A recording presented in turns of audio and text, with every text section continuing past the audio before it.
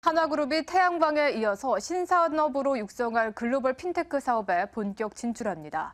김승연 회장의 차남이 핀테크 사업 주도권을 쥐면서 신성장 동력 사업을 중심으로 한 후계 경영도 본격화되는 양상입니다. 김희슬 기자입니다. 올해 신사업에 3조 4천억 원을 투자하기로 한 한화그룹.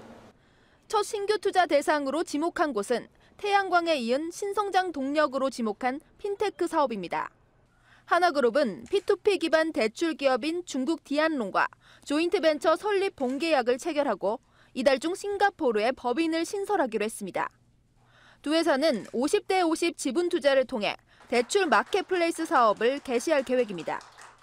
인터넷 공간에서 대출 공급자와 소비자 간의 거래가 이뤄질 수 있도록 중개해주고 일정 수수료를 받는 방식입니다. 아울러 다음 달 핀테크 전문 인력 30명을 신규 채용해 국내에서도 자회사를 설립하고 이르면 8월 중에 사업을 시작할 예정입니다. 신규 사업 진출과 함께 후계 경영도 본격화되는 양상입니다.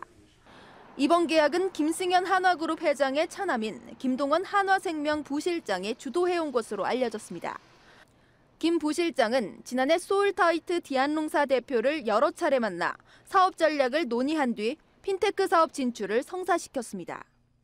한화그룹 주력 사업인 태양광을 이끄는 장남 김동관 한화큐셀 전무부터 면세점 사업을 맡고 있는 삼남 김동선 과장까지 후계 경영 구도가 갖춰진 셈입니다.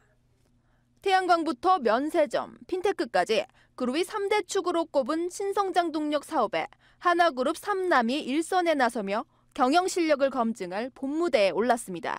머니투데이 방송 김희슬입니다.